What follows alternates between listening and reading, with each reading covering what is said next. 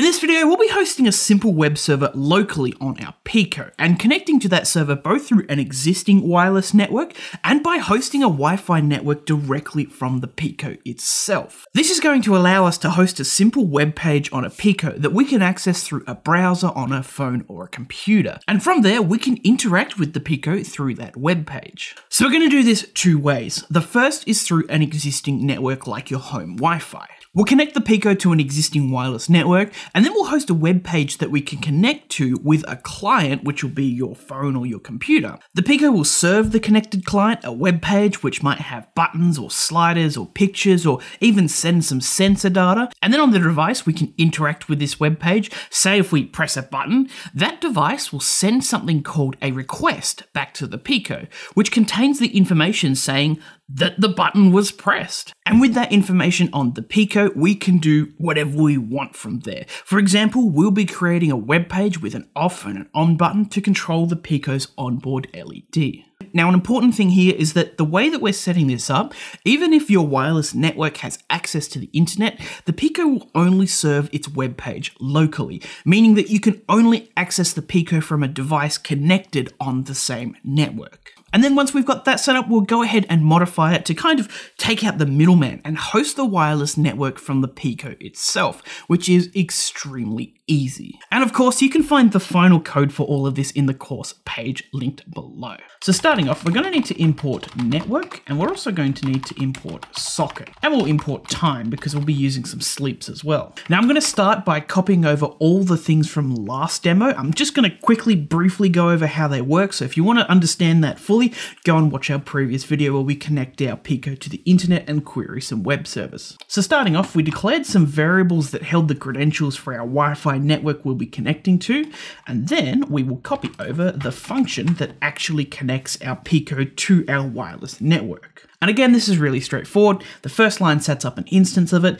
The second line turns on the wireless hardware on the Pico. The third one tells the Pico to connect to the wireless network with the credentials we gave it. And then here we basically have some visual representation showing us what the Pico is doing. It's going to keep printing that it's connecting until it's successfully connected to our wireless network. And then where our code starts, we're just going to try and connect and leave it at that. Let's give this a quick test. It's always good to test it in stages to isolate any errors you might have. And as you can see, we've successfully connected to our local network. Now I'm going to go ahead here and create a function to open a socket on the Pico. Now we are getting into some really technical and dense networking terms here, but a socket is something that the Pico uses to allow other clients and devices to send and receive information with. So first we start by getting some address information for our socket that we'll use to set it up with. And then we'll create an instance of our socket and assign it to a variable similar to how we set up a pin. Then you take that address, bind it to the socket and tell the socket to start listening. And this means it's going to start listening for any incoming connections. And this number here that we put 3 in just for this example is how many connections can be queued up while it's trying to connect to the socket. And then after all that, we're just going to return our socket, which is the variable s. Now let's go ahead and just call that socket in our main part of our code. I'm just going to call open socket, and that is going to open up the socket for us. So now we're going to start handling devices connecting to our Pico and sending and receiving information. And we're going to pop all of this inside of a try and except structure just to deal with any errors that might arise. So our code's going to start by trying to accept a client. And the way that we're doing it here in MicroPython is known as a blocking call. And long story short, it's not going to progress past this client equals s.accept until a client connects to our Pico and starts this process. Then we're going to receive the request from the client, store it in a variable called request, and then turn it into a string, print it out, close the connection. To backtrack a little bit, I've just realized I've made a few spelling mistakes, mainly here in address. I can never spell that word correctly. I've also forgot to put a semicolon there, and down here I have spelt accept incorrectly again. So now that we've set up our socket on our Pico to handle clients connecting to it, we should be able to test that through a browser on any device as long as it's connected to the same network that the Pico is on. So I'm going to go ahead and run that code and we connect it to our local network. And if you just punch in this IP that it gives you, we can see here that the Pico has printed out that request. We can see that something has tried to connect to our Pico. So starting off, let's create a function that's going to hold some HTML code that will be the web page that we're going to serve to a client.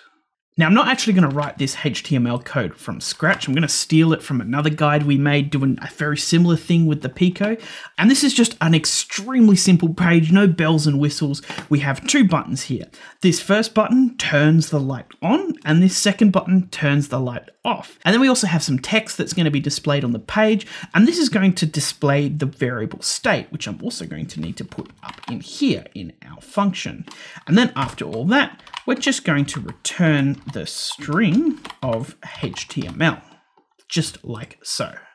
Now, if we come down to our main part of the code, let's call that function to generate the web page, and we're going to feed in state, and then let's send that HTML code to our client just like so. And then we're going to need to go up to the top here and declare the variable state, just initialize it so we have something to send to the page on the first run of it. We're also going to need to plug in one more line to this, and I'm just going to copy and paste it because this is a this is probably the most technical part of this entire chapter. And long story short, this is going to send a response header to our client because some web browsers need this line to work. Without it, we get some errors, and we could spend an entire video dissecting how this works, but for now we're just going to leave it as a black box. You, It just works and it's part of the code. And also if that fails, we're going to want to close our client like so in our error handling try except structure.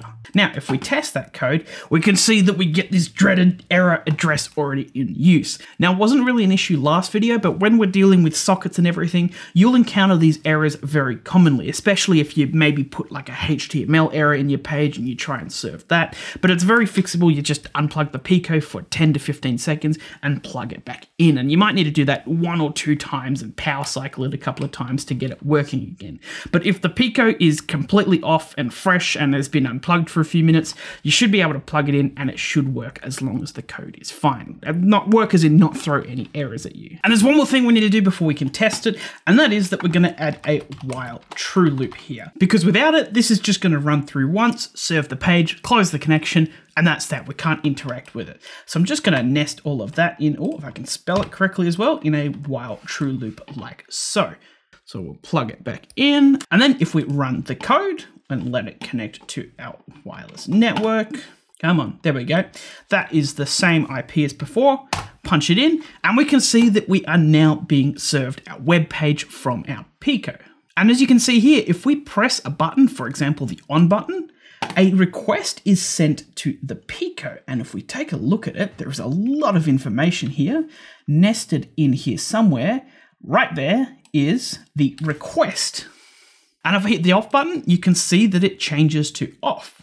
And these buttons sending these on and off phrases to our Pico, to the shell here, can actually be controlled through our HTML code, which we'll be changing in a later video to do some more complex things. But for now, we can send an off or on signal to our Pico through a web page, which is pretty darn cool. So let's do something even cooler with it and start controlling hardware with it. So first of all, let's clean up that request. All we really care about is this slash off here. So let's kind of remove everything that isn't part of that. We're going to split up that request and then we're going to try and grab the second element of it, which should be the slash off or the slash on, the actual request part of it that we want. Now that's not always going to be there. For example, when we punch in the IP and we connect and we receive that web page. So we're going to need that try and except because it will throw an error if it's not there and that will crash our Pico.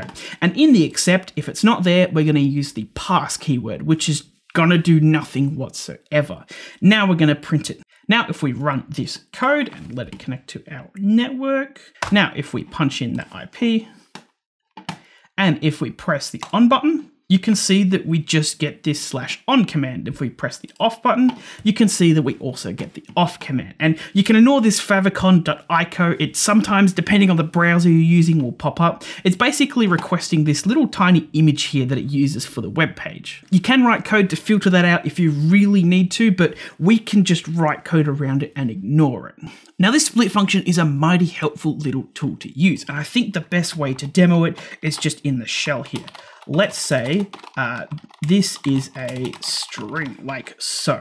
I'm just going to assign it to a string called s, and now if I call s.split, whatever I put in the brackets here, it will split this string into different elements into a list. So if I say I want to split it along this R here, I'm going to say split S along R, and as you can see, it split it before and after the R, but it does remove the R. What we're doing, however, we're calling just split with empty brackets. And what this is going to do is it's going to split it along the space. So if I press that, it's going to split it into different elements of this is a string. And in here, we're just going to grab the second element of it. Remember, it's indexed at zero, which is going to be the request. So now that we've done some string manipulation to get the request in this nice, short and compact format, we now have a system where we press a button here and it updates a variable on the Pico. And from here, it's very easy to check if that variable request equals this, then do something. So let's do that and control the onboard LED. And this should hopefully be very familiar by now. We import pin, set up our LED instance, and then all we're going to do is we're going to say if request equals on, slash on with the question mark, make sure that that string exactly matches the request that is being received.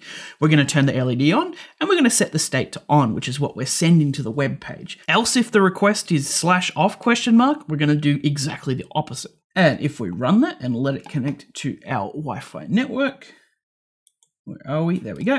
That is the same IP. If we press the on button, the LED turns on. And if we press the off button, the LED turns off. And we can keep doing that. And it's pretty darn responsive. If I bring the mouse in, you should be able to see that there's about a 300 millisecond delay between pressing the button on a computer, that request being sent over the wireless network to the Pico, and then turning on the hardware. Now, a common question asked right about now is okay, I can connect to this web page through my local network. How can I connect to it outside of the network through the internet?